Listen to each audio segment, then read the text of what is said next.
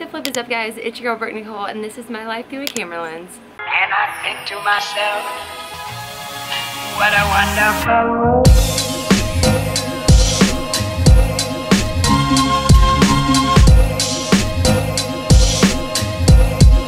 What a wonderful world. Thank you guys so much for clicking on today's video. It is that time of year again and if you did not see my video from last year and you're needing a little bit of inspiration for a first birthday party for your little girl, I will be sure to link that video right here for you guys if y'all want to check it out. In that video I went through and explained every little detail that I did in planning my daughter's first birthday party. But with that being said, we just celebrated my daughter's second birthday party a few weeks ago. So I figured I would share everything that I did to plan that birthday party as well. I'm going to break down every little thing that I did in regards to this party from the theme to the ideas that I had to the decor pieces that I used, all the activities that we did for the party, all the way down to the cake, what I asked for specifically, and how all that turned out. So if you're curious on how I made this party happen, stay tuned. I made the mistake of saying this exact thing a million and one times in my last video and I don't want to drive y'all nuts by repeating myself constantly. I'm just gonna go ahead and get it out here. Everything that I mentioned will be linked down in the description box below. Everything that I purchased for the party that is on Amazon, you will find in my Amazon storefront, which is linked down below. And then everything else that I purchased from Walmart, Target, Etsy, all of that will be linked below. So if you're curious about what I bought, it's all down there. If you have any questions, please feel free to message me and I will answer any and everything that I can. So I have a few things working against me right now. One one, it's like 90 degrees, so I'm just sweating to death, but my daughter is currently napping, so I don't wanna go inside and wake her up. The second issue that I'm running into is that I've been charging my camera all morning, so I thought, and we are currently on 11% battery. So we're gonna shoot as much as we can. Hopefully I can get it done. I doubt it, but we'll see. To kick this bad boy off, I am a very visual person. I am all about plans and lists. It's my thing. So the Notes app was a huge lifesaver for me when it came to this party. When I say I used my Notes app and made a list for everything in regards to this party, I mean everything. I made an invite list, so I put every single person that I invited to the party, and then I went back and I would mark off every person that RSVP'd to the party, which helped me when I started to plan the food for the party. So that gave me a rough estimate of how much food that I needed. Now, obviously life happens, and some people that said that they were gonna make it to the party ended up having to cancel day of, and that's just the sort of stuff that you can't really plan for. But this way, with making the list, I at least had a general idea of how many people would be there and how much food I needed. Because the last thing that you want is running out of food or drinks at said party. Then I made a separate list of everything else. From the schedule that I wanted to happen for the party, which I'll go over that in just a minute, to the types of decorations that I wanted, the ideas that I had for the party, birthday gift ideas that I wanted to get, you name it, it was on the list. If I could give you any advice at all, it would be to make a list of some sort to help you keep things organized. So for me, I started planning my daughter's birthday party about three to four months in advance. So I would purchase things for the party and then later on completely forget about that purchase.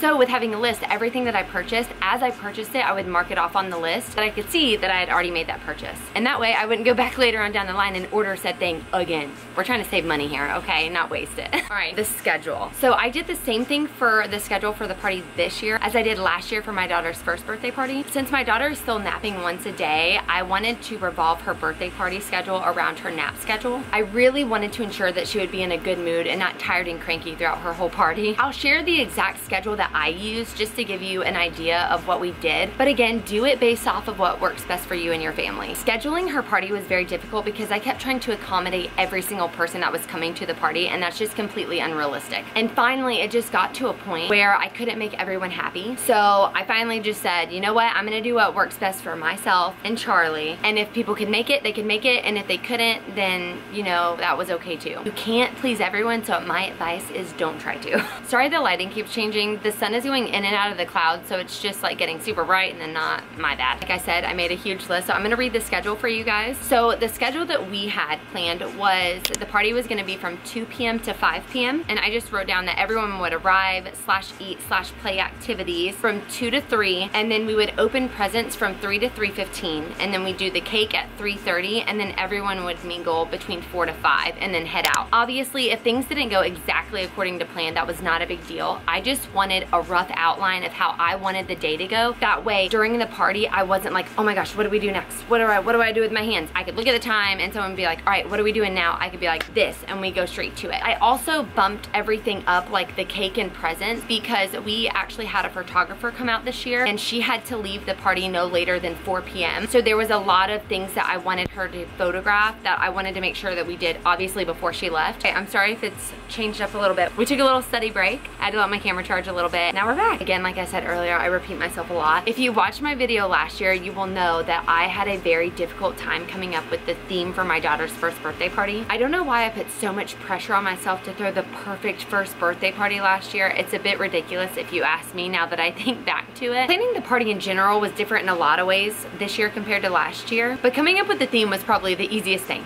that I did. Mainly because my daughter is now old enough to have her own likes and interests, whereas last year she didn't. So it was kind of all just on me to come up with what I wanted for her first birthday. But this year she has her own like favorite things that she loves now. So at the time of the party and still currently, she is completely obsessed with Mickey Mouse Clubhouse. So I've known for a very long time that I wanted to throw her a Mickey Mouse Clubhouse theme party. But from there it was very simple. I just had to try and find things that I liked that went along with the party theme. My first big tip for you in this sense was a lesson that I learned the hard way, and that is to use Etsy and Amazon to your advantage. Last year, I found the theme based off of a picture that I saw on Pinterest, and I kind of had to do everything from scratch. I did all of the DIY projects by myself, just to kind of make it go along with the theme. I don't know why I never thought to check Etsy to the extent that I did this year, last year, because I found so much stuff on Etsy that was not only affordable, but also went along with the theme perfectly. Go on Etsy, search the theme that you're looking for, and buckle up because I'm sure you will find a million and one things.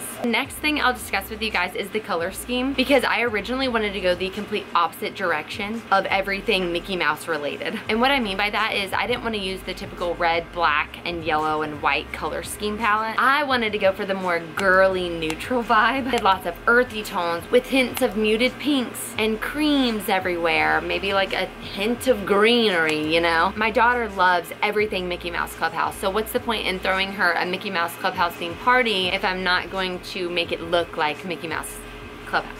You know what I mean? I don't know. I mainly wanted to go for that muted, natural, neutral color vibe up until I started planning the cake. I want to skip ahead just to something really quickly and then we'll come back to that. I wanted to really quickly touch on the invitation card that I made because like I've stated before, Pinterest is my number one inspiration when planning birthday parties. And while searching for ideas on Pinterest, I came across this woman's blog, which was in regards to her son's Mickey Mouse themed birthday party that she threw. I absolutely loved some of the stuff that she had at her party and I wanted to try and incorporate it into my daughter's birthday party as well. And one of the things that I really loved and I wanted to incorporate was the invitation card that she had at hers and some of the name tags tags that she had throughout the party as well. I want to say if I remember correctly that she actually paid someone else to make the invitation card and those extra cards throughout the party. But I didn't want to pay someone else to do that because I felt like it's something that I could do myself. I have all of the means to do it myself. So I figured it was just an easy way for me to save money. I just used the app called Studio on my phone to create the invitation cards. Then to create the cards for the foods and other cards that you'll see throughout the party as well. I just used Adobe Premiere, which is a program that I personally pay for to make my YouTube videos and stuff like that, and like Photoshop. And if you're really interested on exactly how I made all of these, I can do a completely separate video on that and break down exactly what I did step by step on how to do that. Now moving on to activities that we did for the kids. First activity being a bounce house. I was adamant about getting a bounce house for my daughter. Anything jumping in general, this child absolutely loves. So I thought that it would not only be something fun for her to do, but it would also be something fun for the other kids to do while they were at the party. Her first birthday party was obviously slightly different because she wasn't even walking at that point, so entertaining her wasn't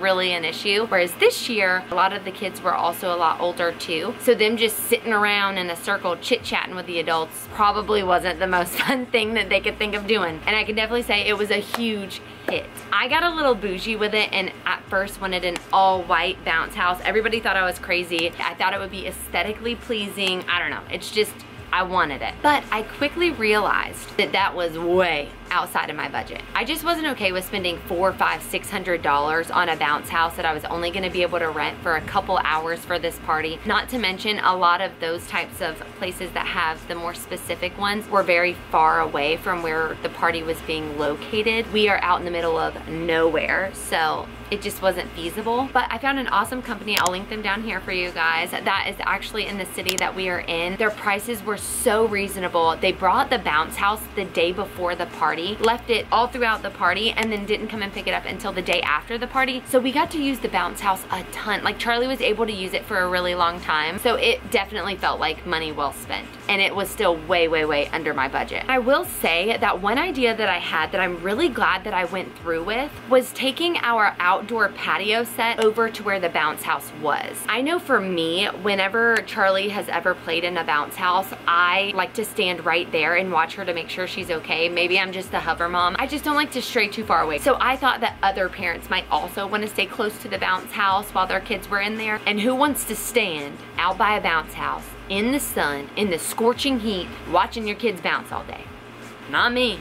So I took the outdoor patio set and set it up over there by the bounce house in the shade like under a tree. And I wanted it to feel all cozy and warm and welcoming. So we took our rug out there, we took the fire pit out there and a couple decorations just to make it feel more inviting. That way if the guests wanted to, they had a place to sit that was closer to the bounce house so they could watch their kids. So this next activity that I did is probably my favorite thing that we did and I am so glad that I went through with it. I'm sure a lot of people thought I was crazy and was probably just wasting money, but it was money well spent and it was to have a painting section at the party. Now, I'm not gonna lie, it was something that I thought none of the kids would really use and I was really scared that it wasn't gonna be much of a hit, but it actually turned out to be such a huge hit with all the kids. What gave me the idea for this is my daughter absolutely loves painting. It's just her thing. She has her own little easel. We come outside on the back patio and we paint constantly. We have done this for a very long time. It's just her favorite thing in the world to do. Drawing and painting she loves it. So I bought this painting set off of Amazon for a couple bucks. It came with tons of little tools and sponges, different sizes and shapes. And then I found a 12 pack of aprons off of Amazon. And all I did was I took the aprons and I went to the dollar store and I bought little command hooks. And as you can tell in this photo, which is where we put the painting section, I just put the command hooks by the window and kind of spread them out. And then I just took the aprons and put the aprons on the command hooks. That way, as the kids came up and wanted to paint, they could grab an apron, throw it on when they were done, just put it up out of the way. Which brings me to my next item that I bought for the painting section.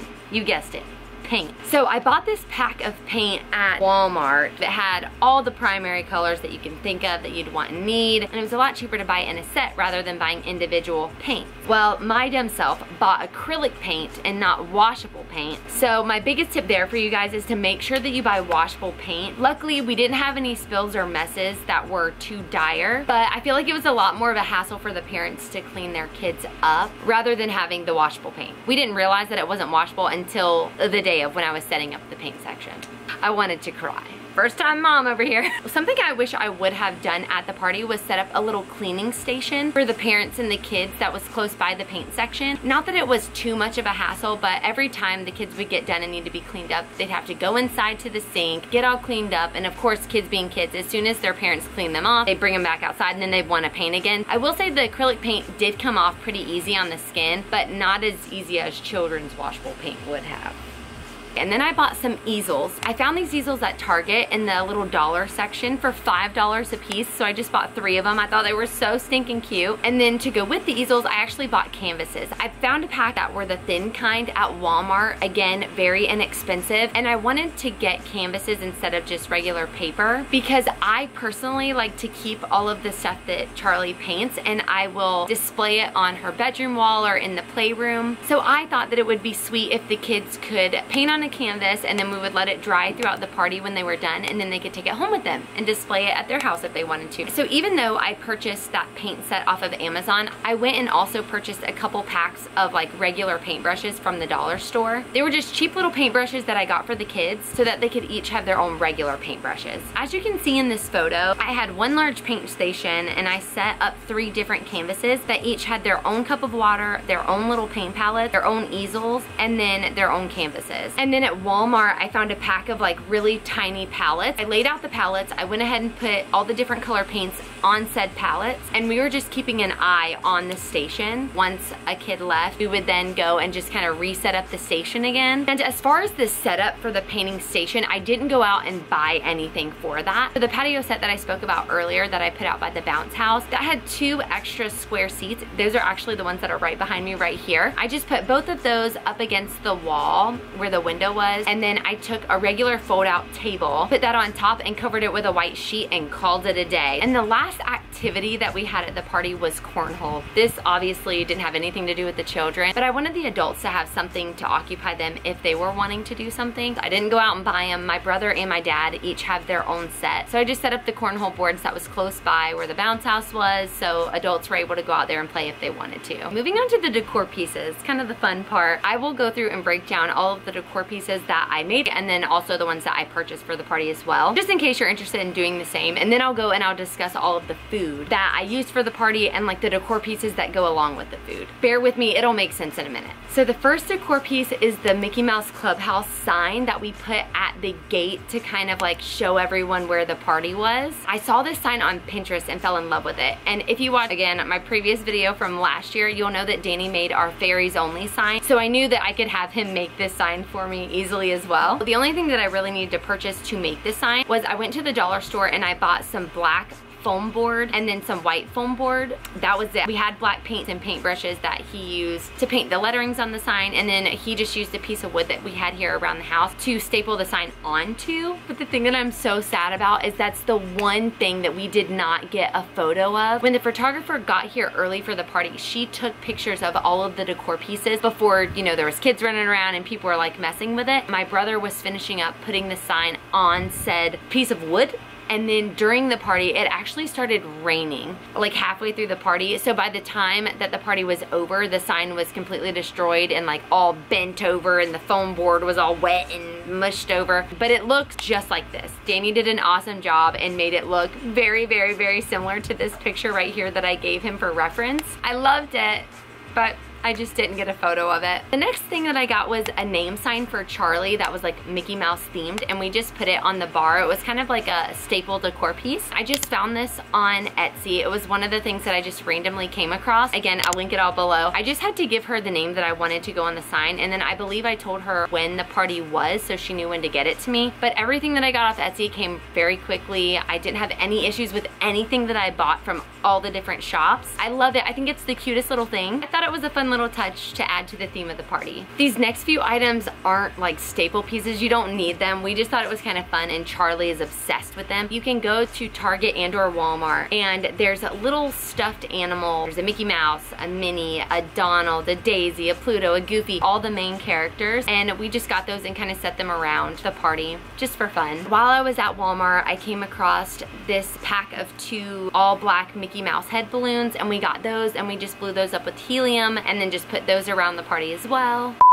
Okay, here we go. Take three. Third time is the charm, hopefully. It is hours later. Um, you're probably gonna hear rain in the background. My daughter woke up from her nap. My camera died for a second time. And we had a torrential downpour. Hello, welcome to Florida. So we're gonna try this one more time because I have someone that's inside watching Charlie right now and my camera is currently fully charged. But if you hear thunder in the background, I'm sorry. That that I can't control. So because I thought the invitation cards looked really cute, I actually ended up buying three separate all black picture frames. I got these from the dollar store, very inexpensive. I just really liked the way the invitation card turned out and I wanted to put that in a picture frame and put it on display at the party, so I did that. And then I also printed out two other signs. One said, we've got ears, say cheers, and the other one said, we've got beers, say cheers. So the we've got ears ones goes along with the next decor piece that I'm gonna share with you guys. I actually bought Mickey and Minnie ears off of Amazon. I bought two 12 packs. So one 12 pack had six Minnie ears and six Mickey ears. I just put those on display so when people came, they could wear them if they wanted. And then if they wanted to take them home with them at the end of the party, they could. I put the mini ear sign, the We've Got Ears Say Cheers, in the picture frame and I just set that on the counter where the ears were. And then the We've Got Beers Say Cheers, I just wanted to put that up. One, I thought it was kind of cute and creative, but two, we have a bar that I used as like a backdrop for the party. And I just wanted the other adults to know that it was okay to bring beer or drink beer if they wanted to. We didn't supply any alcohol, but I just wanted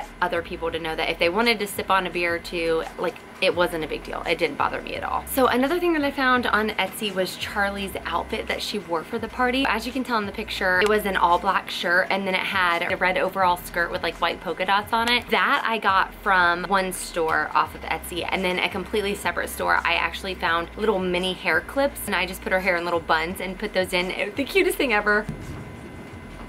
I hear that thunder in the background.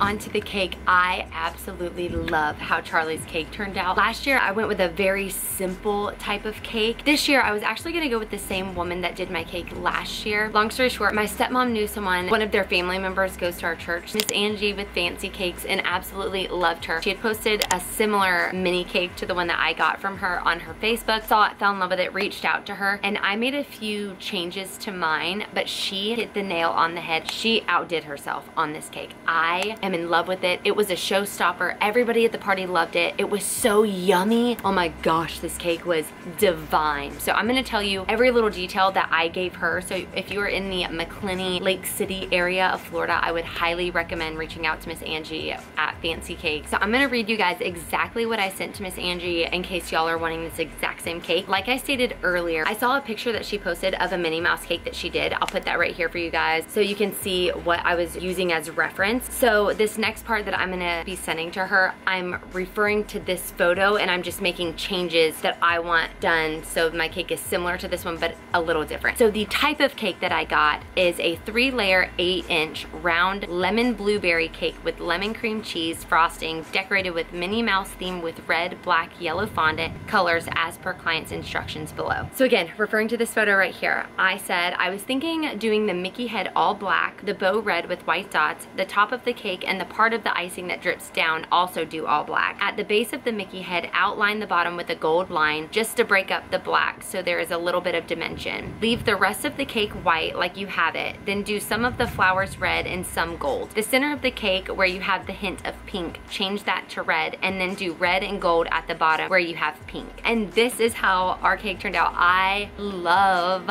our birthday cake. It was so good. Yeah, that's the cake. She gave me a ton of different options for the flavor that I could do for the cake and I just chose lemon and blueberry. I had no idea if that was gonna taste good and like go together. We were both kind of like, I don't know how it's gonna taste, but I'll do it for you kind of thing. And I think it turned out really good. It was so yummy, you guys. Another little decor piece that I got is confetti. It was two separate Etsy accounts that had Mickey Mouse themed confetti. One of them had different color Mickey Mouse heads that were like sparkly and they were just like red, black, and gold. And the other one I was actually able to input Charlie's name into the confetti and then it had a bunch of different like Mickey Mouse parts in it. So there was like a Mickey Mouse hand and like Mickey Mouse bottoms and like a Mickey Mouse head and then her name. And then we sprinkled them along like the table that we put the food out at and then like where we had the cake. I just wanted to give it a little extra pizzazz. Next up we have gift bags. This year I went a little more all out for the gift bags. I was looking on Etsy, found a ton of really cute gift bags on there that were Mickey Mouse themed, but they all were actually pretty pricey and I just did not feel like spending $30, $40 on bags that were gonna most likely get thrown away. I luckily just went on Amazon and I found a huge, I think it was like a 24 pack of these gift bags and I got these and just filled them up. I will say last year I made the mistake of going to the dollar store and trying to buy all of the gift bag items there. I thought it would be cheaper that way, just go grab a bunch of different ones. No, no, no, no, no, no. I stumbled upon the aisle in Walmart that is like the birthday aisle and in said aisle there were tons of cheap little toys. Oh, y'all hear the rain picking up. I'm so sorry. But there was a ton of cheap little toys that came in packs. So you have like an eight pack, a 20 pack, and I just got a bunch of different little items that I was able to put into the gift bag. So here I'll show you guys how I laid everything out when I was putting the bags together. For the little boys, I did a bouncy ball, some Play-Doh, and like some little boy sunglasses. And then for the little girls, I did the same thing. I did like a bouncy ball, some Play-Doh or slime, and then I did little girl sunglasses, and then I also had like those little princess rings, and I just put those in a gift bag and called it a day. And then the sign that I put next to the gift bag, I actually found that on Etsy. I just stumbled across it. I was not expecting to buy it. It just said like, thanks for stopping by. It's what Mickey says at the end of every episode. And I just thought it was cute to put that with the gift bags because people were gonna be leaving and they'd see it on their way out. It's just like a little sign like this big. I just sat it on a table next to where the gift bags were. All the little details made this party and I had so many compliments on it. Now we'll move move on to the food. I had decor items for the food. I'll explain that in just a second, but I wanted to lump all of the food stuff together so I didn't confuse you. I found these PDF files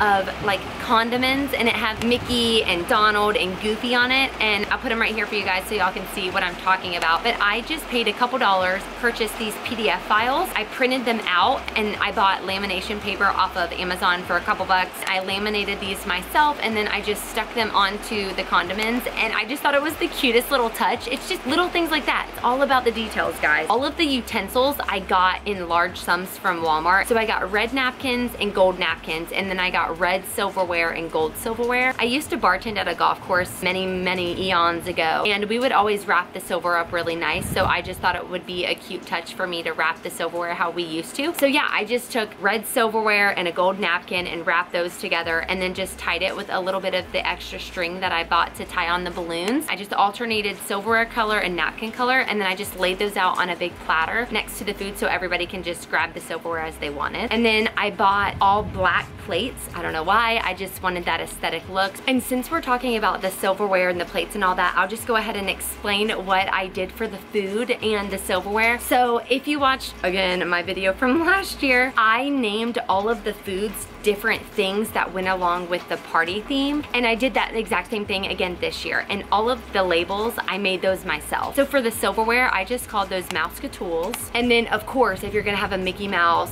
themed party, you have to do hot dogs. That was our like main dish. We did hot dogs and we called them hot diggity dogs. I just set out a little hot dog station. So I put all of the buns on this cute little tray that we had. I had the hot dogs right beside that and along with the condiments. My daughter's birthday is in June and we currently live in Florida. So it was in the 90s on the day of her party. Very, very, very hot. So I knew that I wanted to have something to like cool the kids down. So I did a popsicle station and I just called those Pluto's Popsicles. And I basically just took a really large black bucket, filled it with ice, and then just stuck all of the popsicles inside of it. So the popsicles were sticking up like this. And then we used these really cute little containers and I just put a bunch of mixed fruit inside of them and we called those Minnie's mixed fruit. My Uncle Rick Rick made buffalo dip. That was like a requirement. I made him make his buffalo dip because it's so good. And we just called that Chip Dale's Chips and Dip. So we had chips and then the buffalo dip right there. And then we had a couple other dip options as well. And then for beverages, we did sweet and unsweet tea. And we also made a little contraption and called it Pete's Punch. And what we did was we used Hawaiian Punch and Sprite and we mixed them together and it was so stinking yummy, you guys. And then we did Goofy's Goldfish and I lucked out with these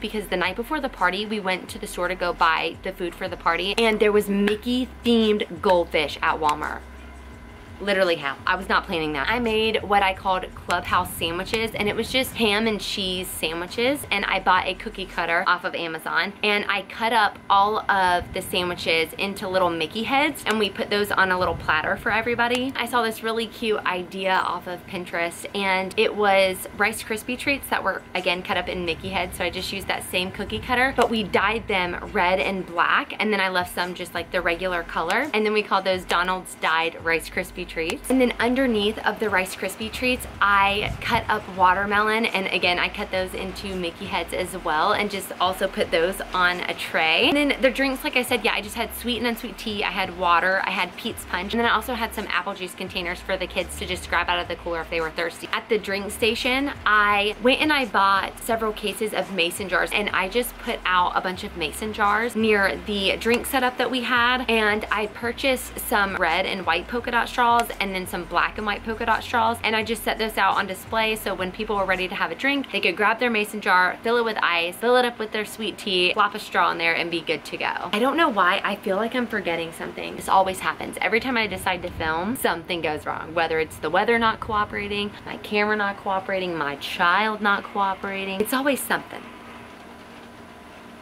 the neighbors and their animals not cooperating. Your girl just can't catch a break. I think that is everything. We have finally made it to the end of today's video. I hope that you guys enjoyed it. If you did, please be sure to give this video a big thumbs up and don't forget to subscribe because it really helps support my channel and I will see you guys in next week's video. Bye!